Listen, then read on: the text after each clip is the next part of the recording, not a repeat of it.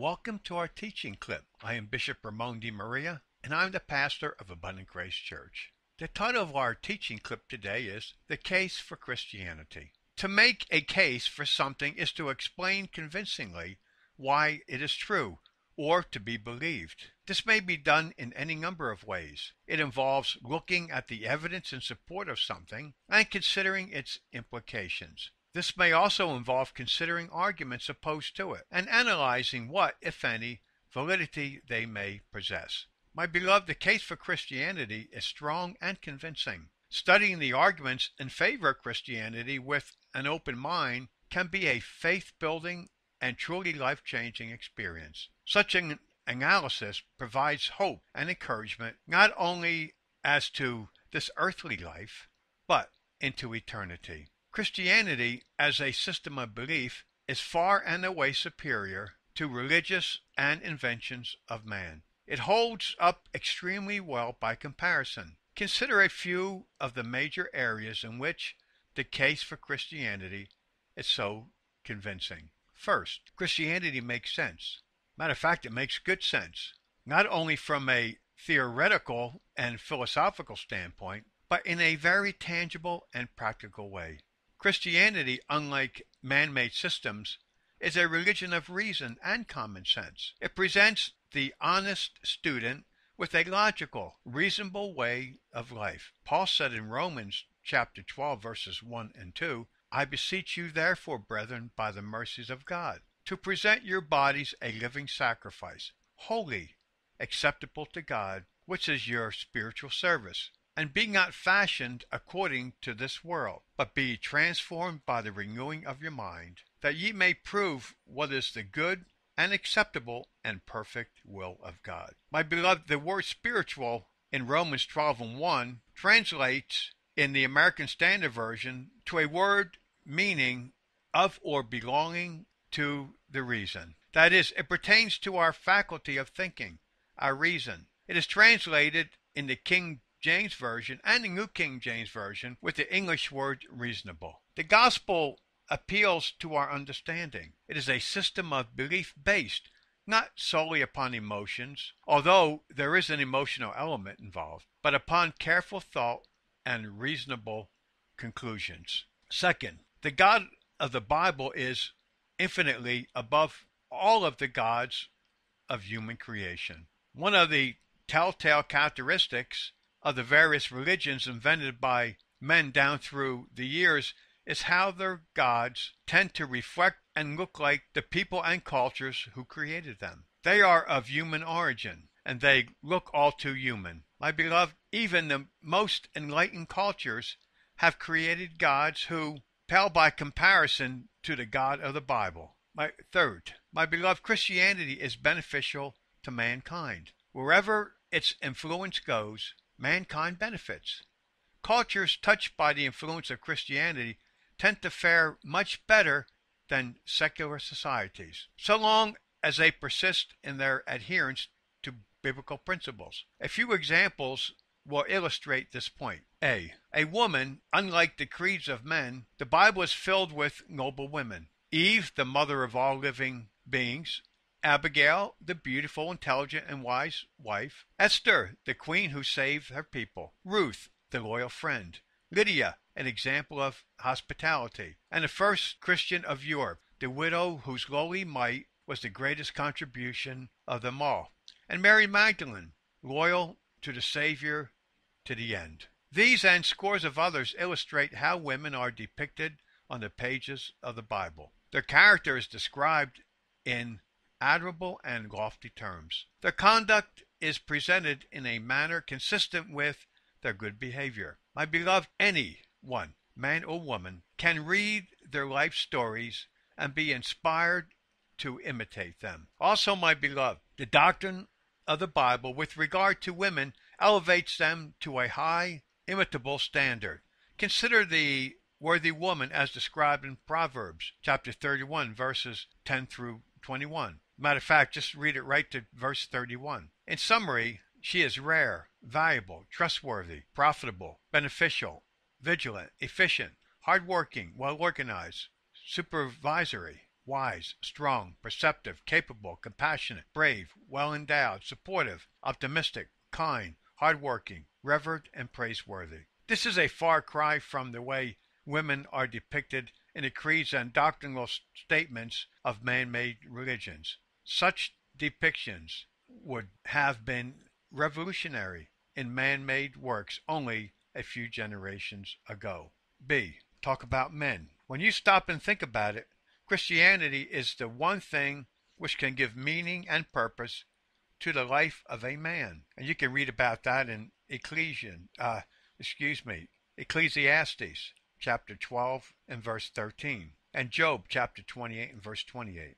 It confronts him with a lifetime challenge he needs in order to find ultimate fulfillment and happiness. The Bible presents man made in the very image of God Himself. You can see that in Genesis chapter 1, verses 26 and 27. Many religions hold their gods at arm's length, something to be feared, even disdained. Yet the Bible describes the creation of man in a likeness of God, in his image. So, in many ways, man is comparable to God. He is capable of great accomplishments, wonderful love and mercy, inventive prowess, and great progress. Christianity calls man to actually be more like God, who wants man to imitate him. It is one of the rare systems of belief which encourages men to assume a higher standard of living.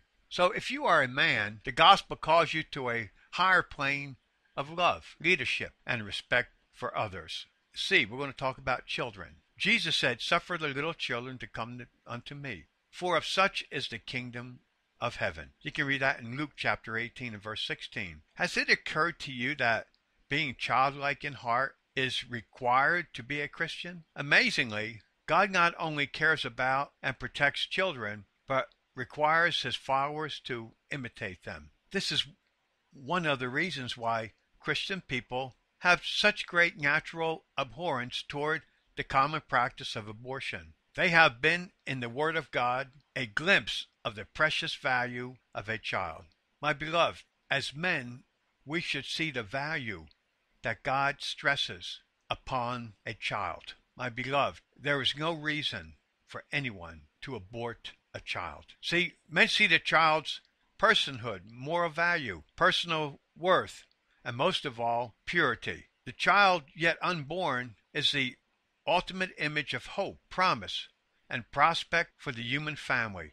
Christianity does not underestimate children. It embraces and looks to them with admiration. If you, my beloved, are a child at heart, the gospel calls you to a life of purity, innocence, and happiness. D, we're going to talk about the poor, the oppressed, and the downtrodden. The Bible shows us God's concern for the needy, you can read that in Leviticus chapter 23 and verse 22, and James chapter 1 and verse 27. This concern, reflected in the ancient harvesting laws for ancient Israel, is alive and well in the Christian dispensation. All around the globe, churches of Christ are actively sheltering and protecting the needy, as envisioned and planned by God.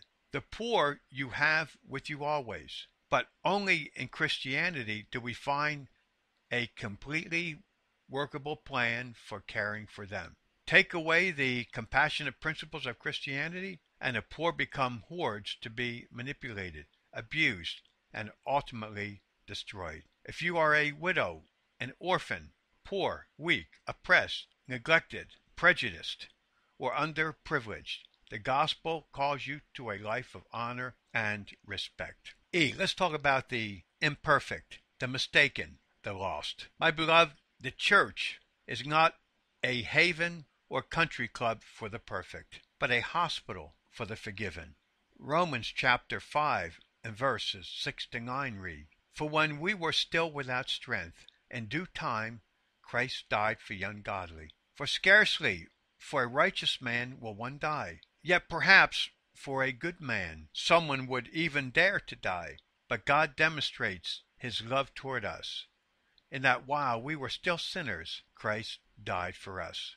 Much more then, having been justified by his blood, we shall be saved from wrath through him. My beloved, when the Apostle Paul wrote to the church at Corinth, he knew they were ridden with problems. Yet, because of the influence of the gospel in their lives, there was great hope. Do you not know that the unrighteous will not inherit the kingdom of God? Do not be deceived, neither fornicators, near, nor idolaters, nor adulterers, nor homosexuals, nor sodomites, nor thieves, nor covetous, nor drunkards, nor revilers, nor extortioners will inherit the kingdom of God. And such were some of you. But you have been washed, but you have been sanctified, but you were justified in the name of the Lord Jesus and by the Spirit of our God. Please read that verse over again or listen to this teaching over again. You can read it in 1 Corinthians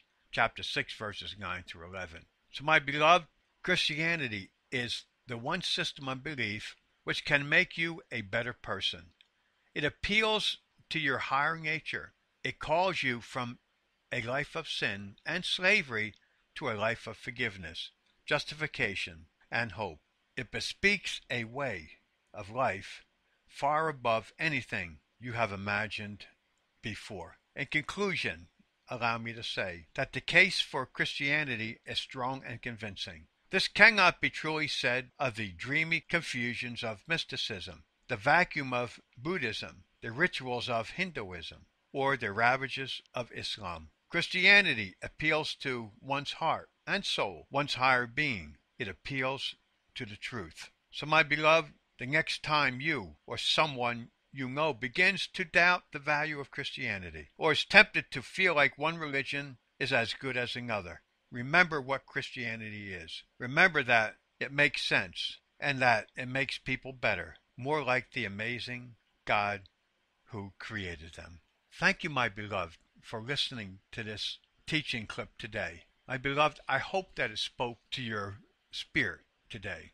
The title has been The Case for Christianity. Please listen to it over and over again. I know I just, on a, a couple of the words, I may have erred somewhat, but I did make the correction. So, my beloved, please know that Christianity is a religion that will move the world, that will honor God, and that will meet every need that the world has. Thank you for listening, and thank you for your attention today. I am Bishop Ramon DeMaria, and I'm the pastor of Abundant Grace Church.